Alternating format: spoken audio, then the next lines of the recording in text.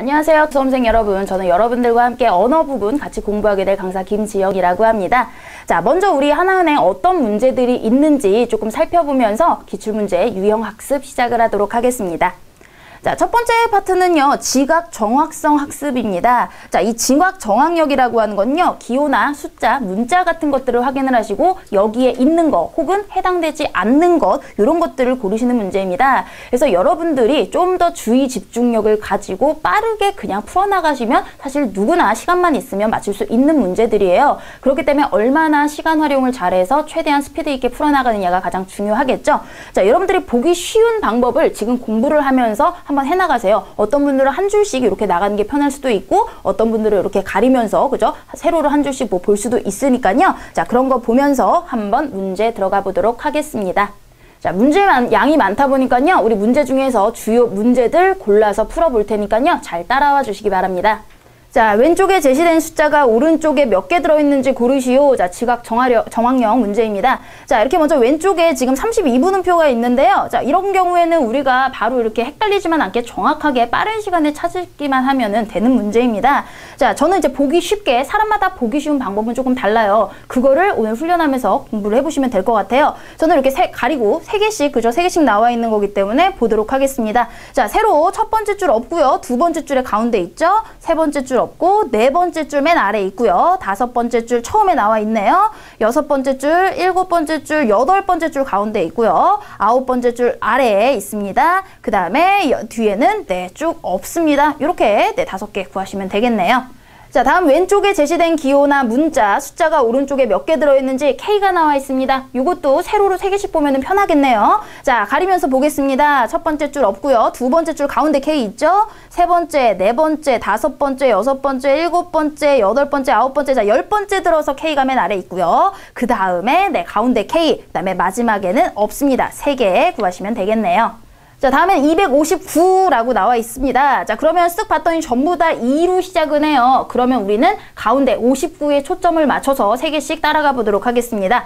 자, 가운데 줄에 어, 좀 집중을 하시고요. 자, 59 없습니다. 두 번째 줄도 59 없고요. 세 번째 줄에 가운데 259 있죠. 네 번째 줄에 5 없고요. 다섯 번째 줄에도 가운데 5 없고요. 여섯 번째, 첫 번째, 그죠? 259 있고요. 그 다음에는 네, 55는 있지만 없습니다. 그 다음 줄도 없고요. 자, 그래서 마지막까지도 59라는 숫자 보이지 않습니다. 두 개 찾았습니다. 자, 이번에는 제시된 문자열 중에서 찾을 수 없는 거를 골라야 돼요. 그러면 아래에 있는 보기 1, 2, 3, 4, 5를 먼저 확인을 하시고 여기에 있는 거, 없는 거 찾으시면 되겠죠. 자, 그럼 이것도 세 개씩 한번 보도록 할게요. 자, 1번에 갓, 이거 전부 다 글자 희한하니까요. 우리 처음 자음 정도로만 생각을 하고 보자고요. 갸, 교, 그 다음에 이게 흡, 흡이네요. 그죠? 흡, 셔, 럽. 자, 그러면 기억, 디귿, 히읗, 시옷, 리을. 자, 요 정도 확인을 하고. 자, 첫 번째, 그죠? 없습니다. 두 번째도 네, 겨 없고요. 세 번째도 네, 흡이 없네요. 네 번째, 자, 혀. 자, 우리 4번 지우면 되겠죠? 다섯 번째 줄 없고요. 여섯 번째 줄도 없고요. 일곱 번째 아래에 럽이라는 거 5번 지우면 되겠죠? 그 다음 여덟 번째, 그죠? 갸, 1번에 있습니다. 자, 1번도 체크해 버리시고. 그 다음에, 네, 이제 돛과 흡만 나왔는데 없죠? 그 다음 줄 없고요. 그 다음에 없고 마지막에 흉 있네요. 2번만 없는 거 이렇게 체크하면 되겠습니다. 자, 다음에도 우리 아래 거 먼저 확인을 하고 보도록 할게요. 410, 725, 682, 854, 584. 자, 그러면 이거 첫 번째 100의 자리를 가지고 조금 집중을 해서 보면 되겠죠? 47685 이렇게 되겠습니다. 자, 처음에 47685 없고요. 두 번째, 자, 4자가 있는데요. 400 10은 없습니다. 다음에 자 584, 5 바로 5번 지우면 되겠죠. 그 다음에 네 번째 줄에도 자 854가 없습니다. 다섯 번째에도 854 없고요. 여섯 번째 줄에 네 723이네요. 그죠? 없고요. 일곱 번째 자 아래에 411번 지우면 되겠죠. 그 다음에 여덟 번째에 네 682, 3번 지우면 되겠고요. 그 다음에 네 768이네요. 그 다음에 네 725가 2번이 여기 있네요. 자, 이렇게 네 개 다 찾았으니까 안 나온 거 854, 4번 체크하면 되겠습니다. 자, 이런 식으로 우리 지각 정황형 문제 풀어봤고요. 자, 다음은 두 번째 챕터 언어 유추력 되겠습니다. 자, 언어 유추, 유추력은요, 제, 어, 제시된 단어의 관계를 확인하는 문제인데요. 뭐, 유의관계 비슷한 거, 아니면은 반의관계, 포함이라든지 용도, 뭐, 직업, 다양한 이런 어, 재료라든지 이런 다양한 어, 관계들이 있으니까요. 앞뒤 단어들을 살펴보시고 나머지의 그 단어들을 고르셔야 됩니다. 특히 두 개를 고르는 경우들이 있습니다. 이런 경우에 하나만 틀려도 틀리기 틀리기 때문에요. 여러분들이 주의 깊게 네, 살펴보시는 게 좋겠습니다. 자, 언어 유추력은요, 낱말의 관계 문제입니다. 자, 그러면 첫 번째 쌍들과 두 번째 쌍들의 관계 같아지도록 한번 두 개를 고르는 거예요. 자, 약이 나왔습니다. 약 다음에 A가 있고요. 그럼 약과 관련될 수 있는 걸 한번 찾아보는 거예요. 약을 먹다. 그러면 닭을 먹다. 이건 똑같아야 되잖아요. B에 어, 원하는 거 없죠. 자, 처방하다. 약을 지어주는 거. 근데 닭은 지어주는 게 없죠. 자, 약은 오르다 관계 없습니다. 약을 다리다. 그죠? 이 조제하는 거죠. 닭은, 자, 끓이는 거, 오래 끓이는 거, 닭을 고다라고 하죠. 자, 같은 개념의 1, 어, 4번과 1번 이렇게 두 개 고르시면 되겠네요. 자, 다음은 자립. 한자가 나왔어요. 자, 자립과 관련된 거 봤더니 의존이 1번에 먼저 자립과 반대되는 의미입니다. 자, 그러면 비에 슬픈 거죠. 슬픔과 반대되는 반의 관계 있는지 찾아봤더니 3번에 그죠. 슬픔의 반대 기쁜 거 환희가 바로 나왔네요. 자, 이렇게 운 좋게 네, 1번과 관련된 똑같은 게 나오면은 우리 1, 3번 이렇게 고르면 되겠습니다. 자, 이번에는 한쪽에 가로가 있습니다. 그럼 오른쪽 관계를 먼저 볼게요. 한가위와 추석은 유의관계에 해당이 되죠. 그럼 귤과 유의관계에 해당되는 단어 바로 밀감 찾을 수 있겠습니다. 자, 세 번째 파트는요, 언어 추리력입니다. 자, 이 부분은 주어진 예문을 근거로 해서 내가 어떤 답을 찾아나가는 과정입니다. 이게 참인지 거짓인지 확인하는 문제도 있고요. 이 문장에 따라서 명제를 찾는 문제도 있으니까요. 여러분들이 좀 살펴보셔야 되겠습니다. 자, 특히 여러 개 주, 어, 지, 어, 지문이 어, 주어진 다음에 이거를 조합해서 푸는 문제 같은 경우는 여러분들이 표를 그리거나 그림을 그려보거나 실제적으로 손을 좀 많이 쓰셔야 돼요. 문제 자체는 그렇게 어렵지 않지만 여러분들이 어떤 유형들이 나오는지 꼭 파악을 하시고 시험장에 가셔야 네, 제대로 풀 수 있을 것 같습니다.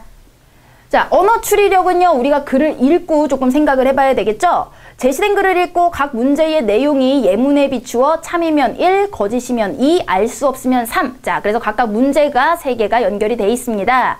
자, 사원 5명, 대리 3명, 부장 2명, 총 10명이 일렬로 앉아 있어요. 부장 사이에 5명 이상의 사람이 있다. 사원끼리는 붙어 앉을 수 없다. 맨 앞자리에는 부장이 앉아 있다. 자, 그러면 한번 우리 그림을 그려보도록 하겠습니다. 먼저 10자리가 필요한데요. 부장이 맨 앞자리에 있으니까 부장으로 시작을 할게요.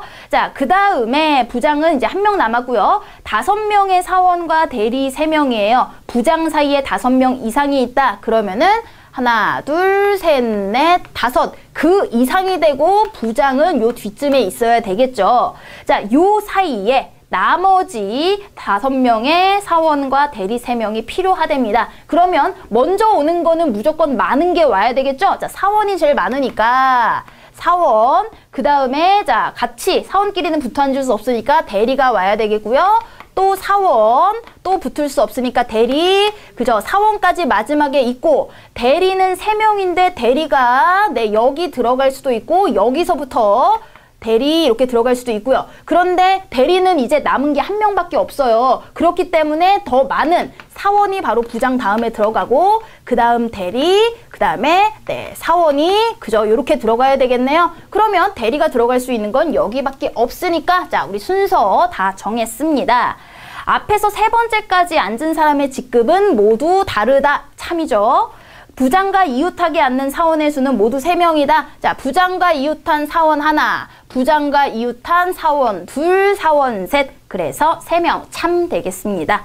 대리와 이웃하게 앉는 사원의 수는 모두 네명이다 자, 이런 경우에 우리 어, 여기에 대리가 왔고요. 대리는 솔직히 두 명 연달아 올 수도 있다라고 그랬죠. 그러면은 대리를 여기다 두고 사원을 두고 그다음에 부장 다음에 남은 사원, 그러면은 사원이 한 명, 그죠? 이렇게 끝날 수도 있겠네요. 자, 이런 경우에 대리와 이웃하는 사원 수는 그죠? 위에 것도 될 수 있고 아래 것도 될 수 있으니까 알 수 없다라고 이야기가 나와야 되겠네요.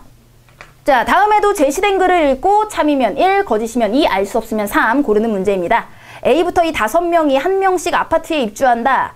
2는 세 번째 입주자이며 자 그러면 기준이 바로 2네요. 세 개가 있고요. 자, 2, 다섯 명, 2가 하나, 둘, 어, 2가 세 번째. B가 2 다음에 바로 입주한다. 자, 그러면 이렇게 되겠죠. C는 B보다 먼저 입주한다. 자, 그럼 C는 여기 들어가야, 어, C분은 B보다 자 이런 식으로 먼저 들어가야 되니까 C는 여기나 여기가 돼야 되겠고요. A, D 사이에는 두 명의 입주자가 있다. 그러면 A와 D, D가 올 수 있는 거는 그죠? 여기밖에 없겠죠? 두 명이 나와야 됐으니까 A와 D, 나머지 C. 자 이런 식으로 되겠네요. 첫 번째 입주한 사람 C, 참이죠. A는 마지막 입주자이다. 거짓이죠. D와 E가 연달아 입주하지 않는다면 C는 D 바로 다음으로 입주한다. 자, D와 E가 D와 E가 연달아 입주하지 않는 거 맞습니다. D는 C 다음이다. 자, 이것도 거짓이 되겠죠. 자, 우리 여기까지 언어 추리력 문제들 살펴봤고요. 자, 이번에는 다섯 번째 챕터 판단력 부분입니다. 자, 여기는 크게 네 가지 유형들로 나뉘어집니다. 그러면 각각 유형별로 우리 어떤 식으로 조금 풀어나가야 되는지 설명을 드리고 시작을 하도록 하겠습니다. 자, 첫 번째 유형은 독해 부분입니다. 앞에 지문 긴 것들이 나와 있고요. 이거를 읽고 우리가 유추하거나 아니면은 내용 일치 문제들, 다양한 문제 유형들을 찾는 건데요. 지문이 길다 보니까 아무래도 이거를 다 읽고 문제를 푸는 데는 조금 시간이 시간이 버겁습니다. 자, 그렇기 때문에 이런 경우에는요. 먼저 문제를 확인을 하시고 이 문제 유형별로 예를 들면 이런 거죠. 중심 내용을 찾는 경우에는 내가 꼼꼼하게 다 읽을 필요 없이 단락별로 핵심 그 문장들만 뭐 체크를 해준다든지 아니면은 내용일치 문제를 할 경우에는 문제를 먼저 보지 말고 1, 2, 3, 4번에 있는 선달을 보시고 이것들의 키워드를 가지고 거꾸로 내가 찾아 나간다든지 하는 네, 이런 방식으로 문제를 풀어주시면 되겠습니다. 뭐 그 다음에 나 오는 것들이 바로 가로 빈칸 채우기 문제인데요. 빈칸 채우기 문제 같은 경우에는 문장이 될 수도 있고 단어가 될 수도 있고 접속사가 집어넣을 수도 있습니다. 그렇기 때문에 사실은 뭐 단어 같은 경우에는 문장 내에서 여러분들이 읽고 유출을 하시면 되고요. 그게 부족하다 할 경우에는 바로 앞뒤 문장을 살펴보시면 반드시 힌트는 나와 있습니다. 접속어 같은 경우에는 앞뒤 문장의 관계를 생각해서 바로 보시면 되기 때문에 그지 어려운 문제는 아니고요. 그리고 여러 가지 빈칸이 그 동시에 나와 있는 경우에는요. 내 아래 보기에서 한번 잘 살펴보시고 들어갈 수 있는 것과 없는 것들을 구별해 나가시면 되겠습니다. 굳이 처음부터 끝까지 다 읽고 채우려고 하실 필요 없다라는 거. 자, 다음에는 문장 배열하기인데요. 요것도 전체를 다 읽고 내가 다시 순서를 배열하기보다는 네, 몇 가지 이제 팁을 알려드리면은요. 아래 뭐 1, 2, 3, 4, 5번이 있잖아요. 그러면은 첫 번째, 첫 번째 문장을 먼저 골라주시면 되겠습니다. 자, 첫 문장에 뭐 나와 라 중에 1, 2, 3, 4, 5번이 다 들어가 있다면 요 두 개만 살펴보시는데요. 첫 번째 문장으로 올 수 없는 것들이 지시어나 접속어입니다. 지시어나 접속어는 앞뒤 문장의 관계를 설정해 주는 거기 때문에 네, 첫 번째 문제로 올 수 없고요. 자, 두 번째는 아까 무시했던 지시어와 접속어가 앞뒤 관계를 설정하는 두 번째 이하 문장에서는 가장 중요해진다라는 거. 그 다음에 세 번째는 같은 단어나 어구들은 서로 묶어줘야 한다라는 겁니다. 같은 이야기를 다시 한번 반복 설명을 하고 그것을 활용하기 때문이죠. 자, 네 번째는 글의 구조를 아시면 전체적으로 이게 앞에였어야 되는지 뒤에 와 있어야 되는지 알기가 쉽습니다.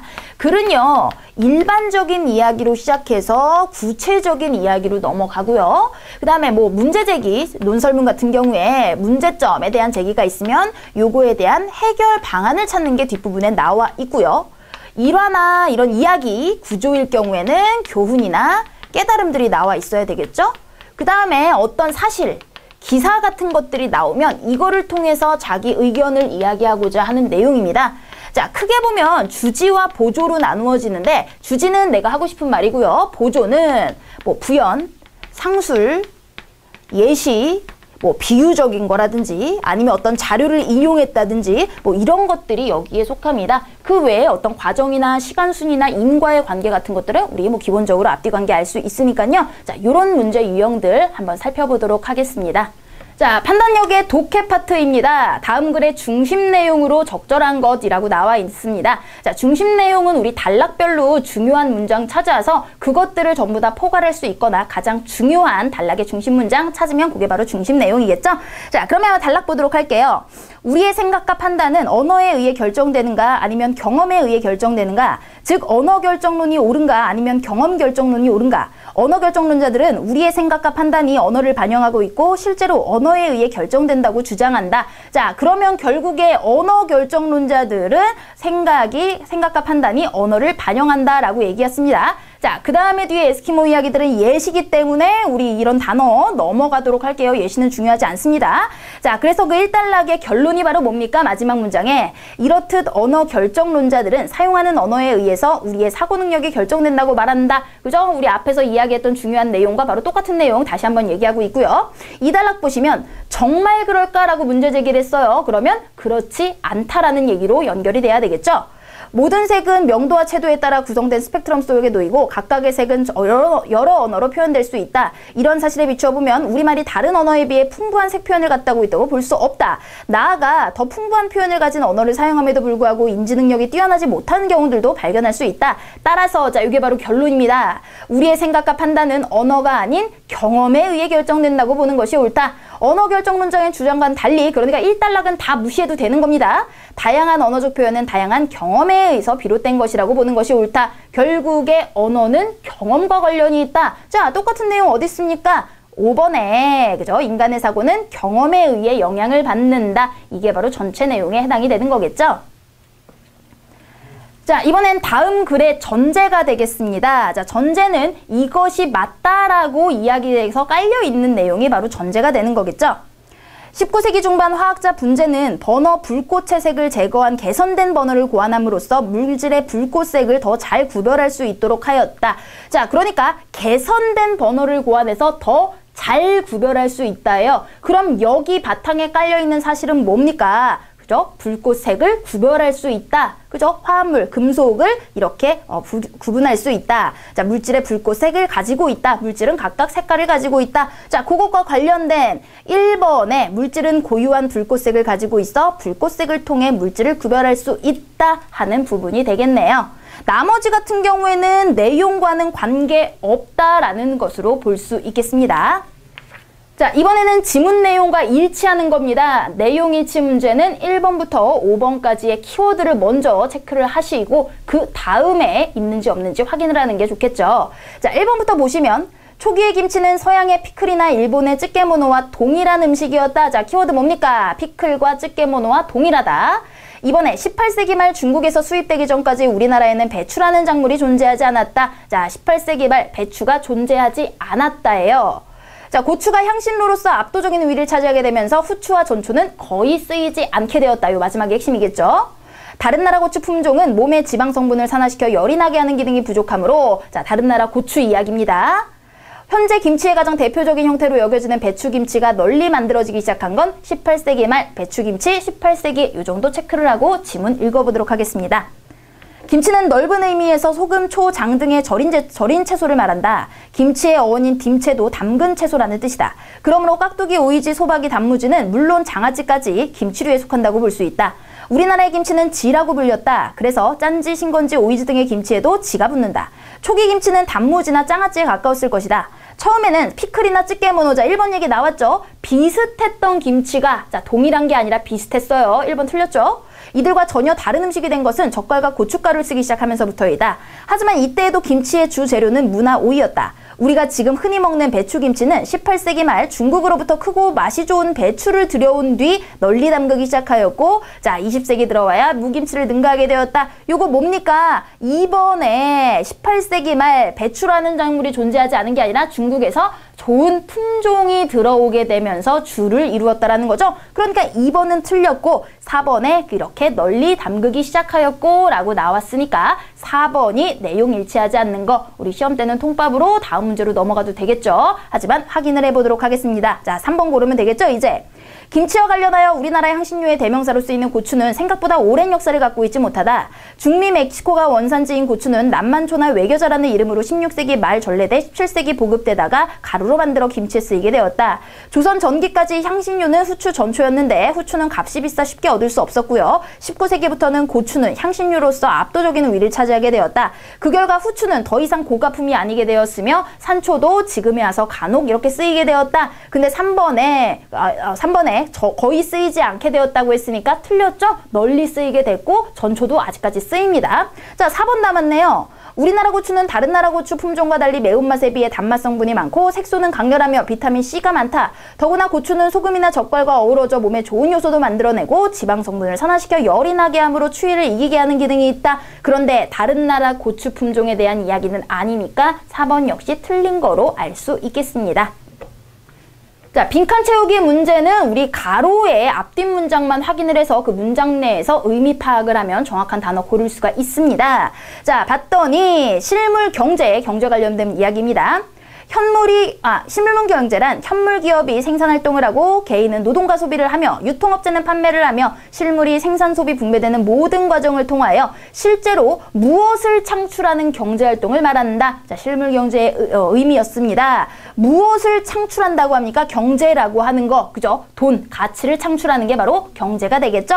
자, 그것과 관련된 거 봤더니 네, 5번에 부가가치를 창출한다라고 나왔습니다. 자, 마지막 문장에도 가로가 있어요. 이러한 실물 경제의 악화라 생산 소비 판매 활동이 위축되면서 모 창출의 총량, 그죠? 전체 돈, 가치의 총량이 줄어든다. 부가가치의 총량. 그래서 둘 다 공통적으로 부가가치 5번 들어갈 수 있겠습니다. 자, 문장 배열 같은 경우에는 우리 보기에서 첫 번째 뭐가 먼, 들어가야 될지 먼저 1, 2, 3, 4, 5번 확인을 하고 시작을 해야 되겠죠? 자, 봤더니 나와 라 중에 처음 문장을 고르래요. 나의 의무 이상의 행동은 행하면 당연히 칭찬을 받지만 하지 않아도 도덕적으로 비난을 받지는 않는다. 의무 이상의 행동의 칭찬 여부예요. 라의 윤리학에서 말하는 의무 이상의 행동이란 도덕이 요구하는 범위를 넘어 특별히 선행한 행, 선한 행위를 하는 것을 말한다. 자, 의무 이상의 행동이라고 따옴표까지 써서 처음 등장을 했습니다. 그러면 요 다음부터 의무 이상의 행동이 뭔지 설명이 들어가고 활용을 할 수 있는 거죠. 자, 그렇기 때문에 윤리학으로 시작한 라가 나와 라 중에서는 먼저 등장을 해야 되면 알수 있겠습니다. 자, 라를 봤더니 3, 4, 5번에 라 다음에 이제 가가 나오는지 다가 나오는지 확인을 해봐야 돼요. 자, 다는 가령 전부 다 가두 예를 드는 거네요. 자, 가부터 볼게요. 예를 들어 누군가 구하기 누군가를 구하기 위해 자신의 목숨을 걸고 폭풍을 치는 바닥에 뛰어드는 것은 도덕이 요구하는 것 이상의 행동이다. 바로 의무 이상의 행동의 예시입니다. 다는 가령 연못에 빠진 아이를 보고 어렵 지 않게 구할 수 있을 땐 누구라도 마땅히 구해야 하며 만약 그 아이를 보고도 구하지 않는다면 도덕적으로 비난받아 어, 비난받을 일이 된다. 자, 둘 다 예시긴 하지만 가는 뭐예요? 도덕이 요구하는 것 이상의 바로 의무 이상의 행동에 대한 예시고요. 다 같은 경우에는 이번에는 비난받아 마땅한 일입니다. 그러니까 의무 이상의 행동인 가가 바, 다가 바로 같이 와야 가가 바로 같이 와야 되겠죠. 도덕이 요구하는 것 이상의 행동이다. 자, 요 부분 같이 연결이 되는 가 3, 4번 중에 골라야 되겠네요. 자, 그럼 가 다음에 나가 오는지 마가 오는지 확인을 해 보겠습니다. 나는 의무 이상의 행동 은 요거에 대해서 설명을 한 거니까 그죠? 같은 문장 연결되는 거 각, 어, 적절하고요. 말을 봤더니 그에 비해 의무적으로 해야 하는 일은 자 요거는 그에 비해서 다른 이야기로 초점이 넘어갔죠. 그러니까 의무 이상의 행동 얘기가 다 끝난 다음에 나올 수 있는 겁니다. 당연히 나가 먼저 나오고 그 다음에 의무적으로 해야 하는 일들 그거에 대한 예시로 바로 다 의무적으로 해야 하는 일은 도덕적으로 비난을 받아 마땅하다라는 내용 연결돼야 되겠죠. 3번 고르면 되겠네요. 자, 여기까지 기출 유형 학습 우리 살펴봤고요. 이제는 본격적으로 네, 적성 검사 부분 같이 공부를 해보도록 하겠습니다. 자, 먼저 지각 정확성부터 들어가도록 합니다. 자, 실전 문제 한번 보도록 하겠습니다. 왼쪽에 제시된 기호나 문자 등이 오른쪽에 몇 개 들어있는지 고르는 문제예요. 자, 그럼 숫자 세야 되겠죠? 더가 나왔네요. 자, 이런 거 세로로 보는 게 편하니까 자, 세로로 가리면서 볼게요. 자, 첫 줄에 더 없고요. 두 번째, 세 번째, 네 번째에 그죠? 가운데 더 나왔고요. 다섯 번째 줄, 여섯, 일곱 번째 줄 아래에 더 나왔고요. 여덟 번째, 자, 아홉 번째, 첫 번째 더 나왔죠? 열 번째, 열한 번째, 열두 번째, 자, 마지막까지 더, 더 없습니다. 3개 우리 구했고요. 자, 다음에는 로마 숫자가 나왔습니다. 9예요. 알고 보면 더 쉽고요. 모르고 봐도 뭐 상관은 없습니다. 자, 세 개씩 보시면 자, 1 없습니다. 첫 번째 줄에. 두 번째 줄에 네, 없고요. 이건 11이죠. 가운데 있는 건. 세 번째 줄 없고요. 네 번째 줄 없고요. 다섯 번째 줄 맨 아래에 9 나왔습니다. 여섯 번째 없고요. 일곱 번째 없고요. 전부 다 11만 나오네요. 그다음에 네, 그 다음에 가운데 나와 있었죠. 그다음에 네, 다음에 없고요. 다음에도 없고 끝까지 까지 네, 9라는 숫자는 보이지 않습니다. 그래서 두 개 1번 고르면 되겠습니다. 자, 다음엔 368이에요. 자, 요것도 3자로 시작하는 거로 먼저 생각을 해봐야 되겠죠? 자, 첫 번째 줄 없고요. 두 번째 줄에 자, 68 없습니다. 세 번째 줄에 69네요. 네 번째 줄에 아, 마지막에 368 나왔죠? 자, 다섯 번째 줄 없고요. 여섯 번째 없고 일곱 번째, 자, 여덟 번째 줄 처음에 368 나왔고요. 아홉 번째 줄 마지막에 열 번째 줄에 368 가운데 보입니다. 자, 요거는 빠르게 여러분들이 쭉 훑고 지나가시면 되는 문제들입니다.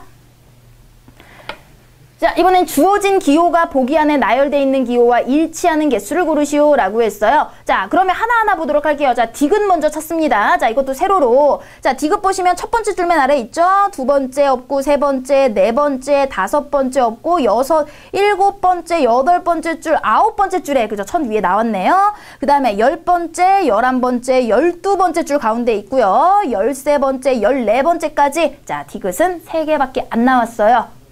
자, 다음에 치읓입니다. 자, 치읓 또 세로로 보시면 첫 번째, 두 번째, 자, 세 번째 줄 첫 위에 있죠. 네 번째, 다섯 번째, 여섯 번째, 일곱 번째, 여덟 번째, 아홉 번째, 열 번째, 열한 번째, 열두 번째, 열세 번째 맨 아래 치읓 있고요. 그것으로 끝났습니다. 두 개. 자, 다음 리을입니다. 자, 첫 번째 우선 리을 처음에 있죠. 두 번째, 세 번째, 네 번째, 다섯 번째 줄에 가운데 있고요. 여섯 번째, 일곱 번째 줄맨 아래 있고요. 아홉 번째, 열 번째, 열하나. 자, 열한 번째 가운데 있네요. 열두 번째, 열세 번째, 열네 번째, 열 다섯 번째. 자, 맨 마지막에 다섯 개까지 찾았습니다. 자, 다음 피읍입니다. 피읍. 자, 보시면 첫 번째, 두 번째, 세 번째, 네 번째, 다섯, 여섯, 일곱, 여덟, 아홉 번째 가서 가운데 피읍 처음 나왔고요. 열 번째, 열한 번째, 열두 번째, 열세 번째, 열네 번째 맨 마지막 처음에 피읍 나와 있죠? 자, 두 개로 끝이 났습니다. 자, 역시 주어진 문자가 나열되어 있는 숫자와 일치하는 거. 자, 화살표 위로 올라간 거. 자, 위에 화살표. 자, 세 개씩 보도록 할게요. 첫 번째 줄, 두 번째 줄, 세 번째, 네 번째 줄에 가운데 있죠. 위에 화살표. 다섯 번째, 여섯 번째, 일곱 번째, 여덟 번째에 맨 위에 줄에 있고요. 아홉 번째, 열 번째, 열한 번째 맨 아래 줄에 있죠. 열두 번째, 열세 번째, 열네 번째. 자, 이렇게 세 개가 끝입니다. 자, 다음에 위아래 화살표예요. 자, 보시면 첫 번째 맨 아래 있습니다. 두 번째, 세 번째, 네 번째, 다섯 번째, 여섯 번째에 자, 여섯 번째 맨 위에 있죠. 일곱 번째, 여덟 번째, 아홉 번째. 자, 아홉 번째 맨 아래 있네요. 열 번째, 열 번째도 가운데 있고요. 열한 번째 처음에 있고요. 열두 번째, 열세 번째. 자, 맨 마지막 맨 아랫부분 총 여섯 개 나왔습니다. 자, 다음엔 오른쪽 화살표입니다. 자, 다시 처음부터 보시면 오른쪽 화살표 첫 번째 없고요. 두 번째 줄 없, 어, 두 번째 줄에 맨 아래 있네요. 세 번째 줄에 처음에 있고요. 네 번째 줄, 다섯 번째, 여섯 번째, 일곱 번째, 여덟 번째, 아홉 번째 가운데 있고요. 열 번째, 열한 번째, 열두 번째 맨 아래줄이 있고요. 열세 번째 처음에 나와 있고 마지막엔 없습니다. 자, 다섯 개. 자, 다음에는 왼쪽 아래로 그죠? 좌하향 되는 화살표 찾아보도록 하겠습니다. 첫 번째 없고요. 두 번째 줄 없고 자, 세 번째 줄의 가운데 좌하향, 네 번째, 다섯 번째, 여섯 번째, 일곱 번째, 여덟 번째 가운데 좌하향. 그다음에 아홉 번째, 열 번째. 자, 첫 줄에 있죠. 열한 번째, 열두 번째, 이제 열세 번째 맨 아래에 있고요. 마지막엔 없습니다. 자, 네 개, 3번 고르시면 되겠습니다.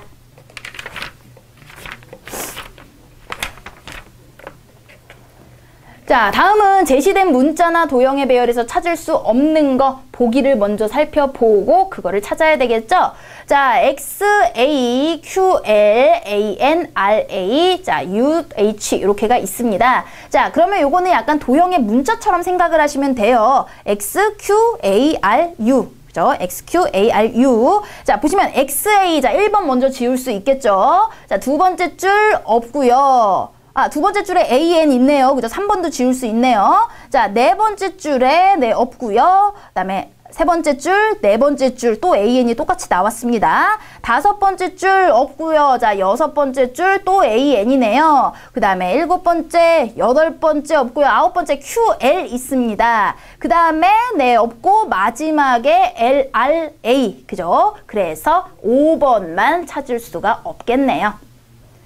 자, 다음에는 알파벳 U, B, J, V, N, U, B, J, V, N. 자, 이렇게 되뇌이면서 봅니다. 자, U, B, J, V, N 첫 줄에 없고요. 두 번째 없고, 세 번째 없고, 자, 네 번째 J, 3번 제외합니다. 그 다음에 다섯 번째 없고요. 여섯 번째 없고, 자, 일곱 번째 U 있습니다. 1번도 제외됐어요. 자, 여덟 번째, 아홉 번째, 열 번째, 자, 가운데 B 보이죠? 바로 옆에 V 보입니다. 자, 그러니까 못 찾은 거 N 고르시면 되겠죠?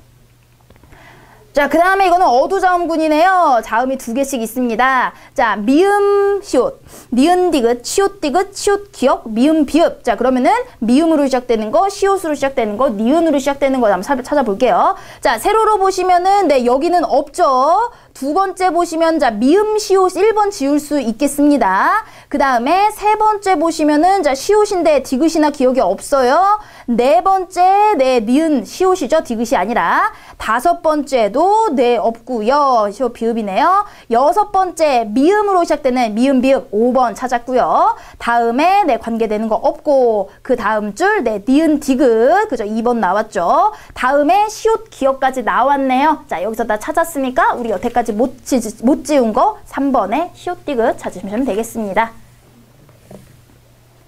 자, 이번에는 무슨 일기예보 같은 그림이에요. 찾을 수 없는 거 골라보도록 할게요. 자, 먼저 위에서 보겠습니다. 여기 우산, 까만 우산 어디 있습니까? 바로 두 번째 줄에 딱 보이죠? 지우고요. 자, 흰 구름 어딨나 봤더니 흰 구름도 자, 세 개씩 쭉 봤더니 네, 흰 구름 딱히 없네요. 나머지 한번 볼까요? 달, 그죠? 달 세 번째 줄에서 바로 찾았고요. 그 다음에 이런 화살표, 그죠? 화살표 가운데도 있고 맨 마지막에도 두 개나 있습니다. 그 다음에 이거 무슨 전기 표시인가요? 자, 이렇게 된 거 우리 새로 첫 번째 줄에서 바로 보일 수가 있겠죠? 그래서 흰 구름 없습니다.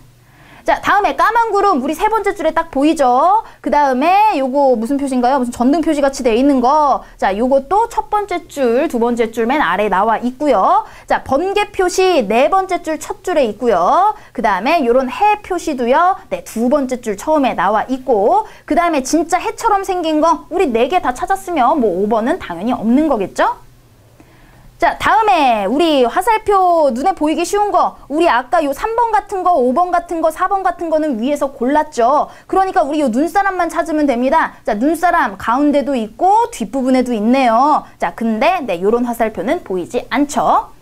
자, 그 다음에 우리 또 찾은 거 확인해 보시면 1번도 찾았고요. 검은 구름도 찾았었고 그 다음에 네, 달인데 여기는 얼굴이 없는 달이네요. 얼굴이 없는 달은 모르겠고 자, 4번에 이런 꽃무늬 이런 건 찾았었고 자, 까만 우산도 처음에 찾았었죠. 그러니까 우리 위에서 찾지 않은 얼굴 없는 달은 네, 찾지 않아도 우리 안, 안 나왔겠구나 알 수 있겠습니다. 자, 다음 언어 유추력, 낱말의 쌍과 같은 관계가 되도록 고르는 문제입니다.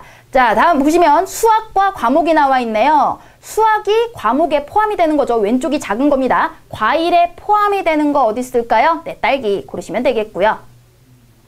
자, 불과 대다가 나왔습니다. 불에 대다죠. 그러면 물에 어떻게 되죠? 물에 접촉하다. 자, 물에 접촉하는 거 물에 젖다. 2번 되겠네요. 자, 농부와 채소입니다. 농부가 채소를 기르죠. 그럼 어부는 뭐를 기르거나 뭐를 어, 잡죠? 바로 생선이 되겠습니다. 자, 컴퓨터와 기계예요. 기계에 컴퓨터가 포함이 됩니다. 왼쪽이 작은 거예요. 자, 화성이 어디에 포함될까요? 바로 태양계의 하나의 행성이죠.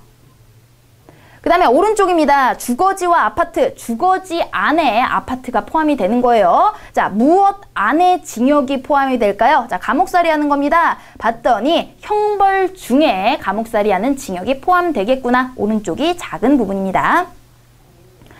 자, 맞아. 중국의 도박 같은 그런 거죠. 유희, 놀이에 해당이 되는 겁니다. 왼쪽이 작은 쪽, 포함되는 쪽입니다. 자, 비타민은 어디에 포함이 될까요? 영양소에 포함이 되는 거죠. 오른쪽이 큰 범위 되겠습니다. 자, 다음 부엌, 집입니다. 집의 한 부분이죠. 그러면 모니터는 무엇의 한 부분일까요? 당연히 컴퓨터의 한 부분 찾을 수 있겠고요. 학자, 연구를 합니다. 자, 그러면 연구원은 무슨 일을 하죠? 아, 은행원, 은행원은 그죠? 출납을 맡아 하는 거죠. 그래서 어, 직업과 하는 일 이렇게 연결될 수 있겠습니다. 자, 다음엔 두 개씩 골라야 됩니다. 쌍 맞는 거. 자, 봤더니 세 조개가 나왔어요. 자, 조개는 연체동물에 해당이 됩니다. 자, 그렇게 따지면은 왼쪽 부분이 더 포함되는 큰 부분이네요. 자, 어류에 포함되는 거 뭐 있나 싹 봤더니 그죠? 5번에 연어 보이죠? 고래는 네, 새끼를 낳아서 젖을 물려 키우는 포유류 됩니다. 헷갈리지 마시고요. 자, 다음에 수도가 나왔네요. 서울이죠? 그리고 왼쪽에 미국이라는 나라가 나왔으니까 국가와 수도입니다. 자, 서울의 수, 어, 나라, 대한민국 4번 고르시면 되겠고, 미국의 수도, 자, 상식이죠? 워싱턴 DC입니다. 그래서 4번, 5번. 자, 바리스타. 우리 딱 봐도 커피와 관련된 직업이죠? 그래서 와인 봤더니 와인을 감별하는 소믈리에가 3번에 바로 보입니다. 자, 다음에 교회와 목사 나왔습니다. 장소와 거기서 행하는 직업이에요. 자, 그래서 보시면은 장소와 직업 봤더니 A의 장소로 우리가 할 수 있는 건 절이나 암자 정도 되겠고요. 직업은 네, 절과 관련된 승려가 되겠죠. 그래서 3번, 1번이 가장 적절하겠습니다. 자, 다음에 둘 다 오른쪽에 있습니다. 학교에 관련된 거 먼저 1번 교사를 보시면 학교에서 일하는 사람이죠. 그럼 관청에서 일하는 사람이 나와야 되는데 B에서 고를 게 없어요. 자, 학교, 대학교가 되면은 포함 관계가 되는 겁니다. 그러면 B에도 관청 아래 해당이 되는 아, 시청의 포함 관계에 바로 나올 수가 있겠네요. 자, 이번에 한자 성어입니다. 견토지쟁은요, 개견자의 토끼 토자예요. 개랑 토끼랑 싸웁니다. 그러면 사냥개랑 토끼랑 싸우면 결국에 누가 가져가요? 사냥꾼이 가져가는 제3자의 이익이라는 거죠. 자, 같거나 반대되는 거 있는지 한번 살펴볼게요. 누란 지위는 계란을 이렇게 쌓아놓은 위급함입니다. 위태위태하죠. 반신반의 반은 믿고 반은 의심. 어부지리는 그저 어부의 이익, 제3자의 이익, 바로 유의관계 요거 찾을 수 있겠고요. 일망타지는 한 번에 모든 걸 없앨 수 있는 지리멸렬은 순서 없이 함부로 뒤섞여 있는 걸 지리멸렬이라고 합니다. 자, 그러니까 여기서 관계를 찾을 수 있는 건 3번밖에 없겠고요. 자, 오른쪽 창상지변 바다가요 뽕나무 상자입니다. 뽕나무 밭이 됐어요. 세상이 이렇게 변했구나. 자 같은 유의관계 찾아야 되겠죠. 천태만상은 온갖 모습들, 행동들을 이야기하죠. 신상필벌 어, 상은 어, 반드시 어, 잘한 건 상 주고 못한 거는 반드시 벌을 주고 이러라는 거고요. 면종복배 얼굴면이죠. 얼굴로는 따르는 척하지만 뒤에는 배신을 숨기고 있는 겁니다. 반신반의 위에 나왔었죠. 자, 상전박해 역시 뽕나무와 바다가 나왔습니다. 뽕나무 밭이 바다가 됐다라는 세상의 급변함 바로 3번, 5번 고르시면 되겠네요. 자, 그 다음에 같은 관계 문제 계속 진행이 됩니다. 자, 양서류가 왼쪽에 나왔어요. 그러면 양서류에 해당이 되는 건 뭐가 있을까요? 우선 개구리와 도룡용 정도가 양서류에 해당이 되겠죠. 자, 그 다음에 칼슘. 자, 칼슘은 어디에 포함이 되나요? 왼쪽이 큰 거니까요. 바로 무기질에 해당이 됩니다. 그래서 1번 고르시면 되겠습니다. 자, 묻히다가 나왔습니다. 묻히다는 묻다의 피동형이 되는 거죠. 자, 그래서 한번 봤더니 왼쪽에 자, 잡다가 오른쪽에 나왔어요. 자, 잡다를 우리가 능동, 피동 이렇게 바꾼다라고 생각을 하시면 됩니다. 자, 그럼 잡다의 어, 묻다 묻다의 능동이 되려면 어, 묻지, 묻다, 묻히다의 능동이 되려면 묻다. 그죠? 묻다, 묻히다. 잡다, 잡히다. 이렇게 능동, 피동의 관계 5번 고르시면 되겠고요. 자, 다음에 얼굴. 자, 왼쪽에 있습니다. 얼굴과 관련된 거는 그죠? 2번이나 4번 정도가 되겠네요. 그죠? 근데 자전거에 해당이 된다라고 봤으면 오토바이는 그죠? 얼굴에 쓰는 거, 자전거에 하는 거 될 수가 없습니다. 코라고 하면 포함 관계가 되겠죠? 자전거에 포함되어 있는 안장이 네, 그래서 답이 되겠네요. 자, 한자어 나왔습니다. 비난, 나쁘게 말하는 거예요. 오른쪽에는 호전, 자, 좋아지는 거죠. 자, 비난과 관련된 거 한번 봤더니 먼저 상향은 남을 칭찬하는 거고요. 반대되겠죠. 칭찬, 역시 반의 관계입니다. 악평은 그저 비난과 비슷한 거, 힐난도 비슷한 거, 호평도 반의 관계가 되겠네요. 자, 뒤에 그럼 반의 관계인지 유의 관계인지 같이 찾아야 돼요. 자, 좋아지는 거. 혐오는 미워하고 싫어하는 거니까 관계 없고요. 악화, 나빠지는 거죠. 그래서 비난의 반의 관계, 칭찬. 악화도 호전의 반의 관계, 나빠진다라는 거 둘 다 반의 관계로 묶였습니다. 3번 같은 경우에 호의는 그저 좋은 뜻으로 이야기하는 거니까 관계 없고요. 호투도 싸우기 좋아한다라는 거기 때문에 3번, 5번 관계 없고요. 호평은 반의 관계인데 아, 양화라고 하는 건 재앙과 화근을 뜻하기 때문에 이것도 네, 적절하진 않겠죠. 자, 다음에 단어가 왼쪽에 있습니다. 그리고 오른쪽엔 티끌이 왼쪽에 있어요. 우리 단어가 모여서 그죠? 문장이 되고 티끌 모아 태산이 되죠. 그래서 2번 어렵지 않게 고를 수 있습니다. 자, 다음은 제시된 두 단어와 관계가 같도록 알맞은 쌍 골라보겠습니다. 부딪다, 부딪히다. 부딪다는 내가 부딪는 거고 부딪히는 건 당하는 거죠. 자, 능동피동 관계 보도록 할게요. 막 다와 막히다. 내가 막혀서 가지 못하는 거죠. 당하는 거죠. 1번이 능동피동입니다. 나머지는 주동과 사동이에요. 사동은 시키는 거죠. 괴롭히다. 내가 남을 괴롭게 하는 겁니다. 당하는 게 아니라 마치다. 맞게 내가 하는 겁니다. 시키는 거. 먹이다. 먹도록 내가 시키는 거죠. 그 다음에 재우다 역시 내가 자게끔 시키는 겁니다. 나머지는 전부 다 사동에 해당이 됩니다. 자, 오른쪽에 먹다와 드시다 높임 표현입니다. 자, 높임 표현 뭐 3번 바로 있다와 계시다 쉽게 고를 수 있겠습니다. 다음에 의사와 진찰, 의사가 하는 일이 오른쪽에 있죠? 자, 직업과 하는 일 연결된 거 2번에 소방관이 화재 진압을 한다. 이렇게 보면 되겠습니다. 다음에 젤라틴과 젤리예요. 재료가 왼쪽에 와야 되죠. 자, 재료와 어, 그 완성품 봤더니 네, 파라핀으로 양초를 만들다라는 거 4번이 되겠습니다. 자, 언어 추리력 갑니다. 제시된 글을 읽고 내용에 맞으면 참 1, 명확하게 거짓이면 2, 알 수 없으면 3번을 택하시오. 자, 이렇게 어 명, 그 명제 이야기가 나오는 거는요. 명제의 대우를 따라가면 됩니다. 자, 명제를 피명 큐이다라고 했을 때 역이라고 하는 거는 거꾸로 큐이면 피이다. 이라고 하는 건 부정을 붙이는 겁니다. 그 다음에 대우라고 하는 게 둘 다 순서도 바꿔주고 부정도 붙여주고 자 명제가 참이면 대우 명제도 참이다 라는 거를 우리가 따라가서요. 기본 명제에 거꾸로 대우 명제까지 바로 써주세요. 라면을 좋아하는 사람은 시금치를 좋아한다. 자 그러면 아 김치를 좋아한다. 김치를 좋아하지 않으면 라면 좋아하지 않는다 이렇게 되는 겁니다. 시금치 좋아하는 사람은 칼국수를 좋아하지 않는다. 칼국수 좋아하면 시금치 좋아하지 않는다. 자, 세 번째 라면을 좋아한다가 되겠네요. 대우. 라면을 좋아하면 우동을 좋아하지 않는다. 자, 시금치 좋아하지 않는 사람은 김치를 좋아하지 않는다 했으니까 김치 좋아하면 시금치 좋아한다. 자, 우동 좋아하면 칼국수 좋아한다. 그러면 칼국수 좋아하지 않으면 우동, 네, 좋아하지 않는다. 이렇게 10개의 명제로 확장이 됩니다. 자, 그럼 딸린 문제 보도록 할게요. 칼국수를 좋아하는 사람은 자, 여기서 시작해야 되겠죠? 시금치를 좋아하지 않고요. 자, 시금치를 좋아하지 않는 사람은 바로 여기 두 번째 예문에 있죠. 칼국수, 아, 김, 어, 시금치를 좋아하지 않는 사람은 네 번째 있네요. 그죠? 네 번째. 김치를 좋아하지 않는다. 김치를 좋아하지 않는 사람은 여기 있죠? 라면을 좋아하지 않는다. 그러니까 같은 결론, 참이 되겠습니다. 자, 다음도 보시면 시금치를 좋아하지 않는 사람으로 시작을 해야 되겠네요. 자, 시금치 좋아하지 않는 사람 네 번째 예문에 있죠. 김치를 좋아하지 않고요. 김치를 좋아하지 않는 사람은 네, 라면 좋아하지 않는다고 연결됐고 라면을 좋아하지 않는 사람이 우동을 좋아하지 않는다까지 나와야 되는데 라면을 좋아하지 않는 사람은 어, 없는 거죠. 이런 경우엔 알 수 없다라고 하는 겁니다. 3번 체크해 주시면 되겠어요.